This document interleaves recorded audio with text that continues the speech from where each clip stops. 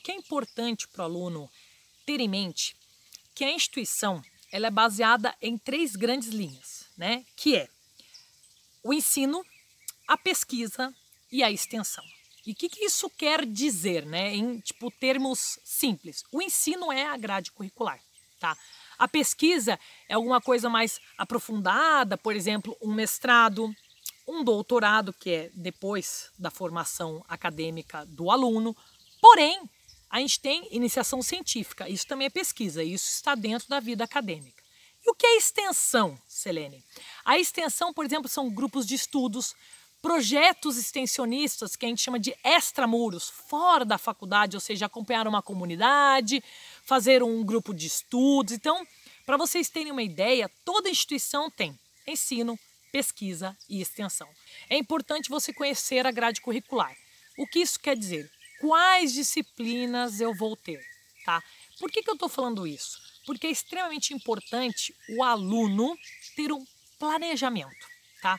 Um planejamento para ele se organizar quando for falar de material didático, quando for falar de eu quero fazer um projeto de extensão, eu quero participar de um grupo de estudos, eu quero fazer uma pesquisa de iniciação científica, mas você só pode fazer tudo isso se você se planejar. E o planejamento a base dele, para o estudante de medicina veterinária, precisa ser a grade curricular.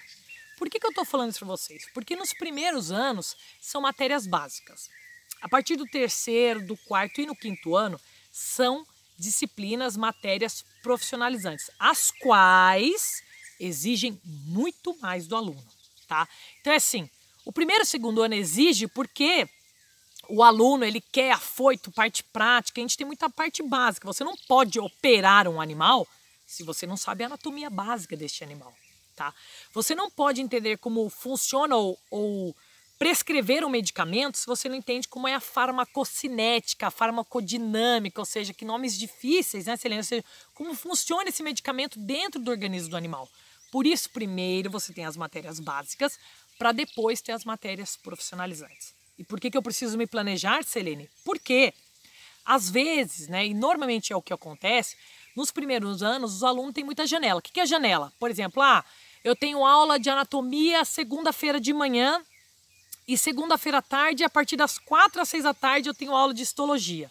Das duas às quatro é uma janela. Às vezes na terça-feira de manhã você não tem aula. Eu estou falando isso para, tá? Faculdades que são cursos integrais. Faculdades de meio período que também exigem e existem, né? Essas janelas, às vezes, elas podem ser mais espaçadas, então aí depende da sua grade curricular. Mas os cursos integrais podem ter essas janelas. E aí vem do aluno aproveitar essas janelas, não somente para estudar aquela matéria que ele viu, porque você pode estudar também à noite, você pode estudar final de semana.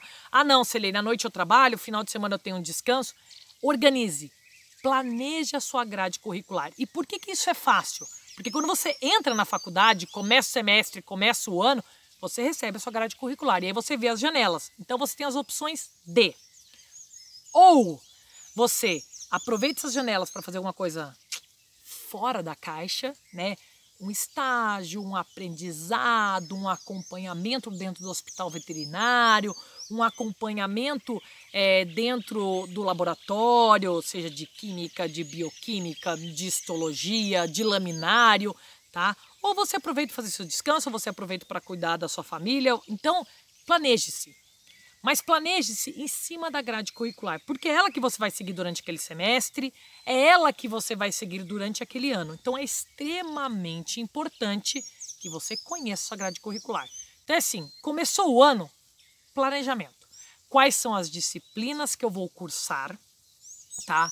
Quanto tempo tem cada disciplina?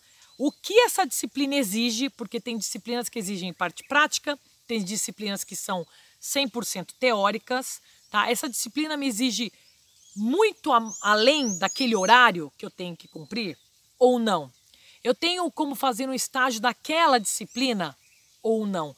Por isso, é extremamente importante que o aluno se planeje na grade curricular. Além disso, existem faculdades que têm tópicos extras, que não é obrigatório, mas ela oferece ao aluno. Então, vocês estão vendo que a gente está falando de grade curricular, tá?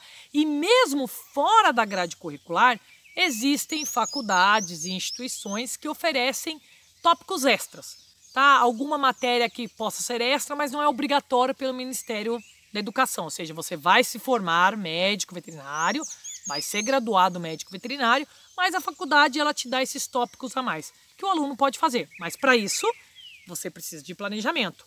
Para isso, você precisa organizar o seu semestre assim que ele se inicia, o seu ano assim que ele se inicia.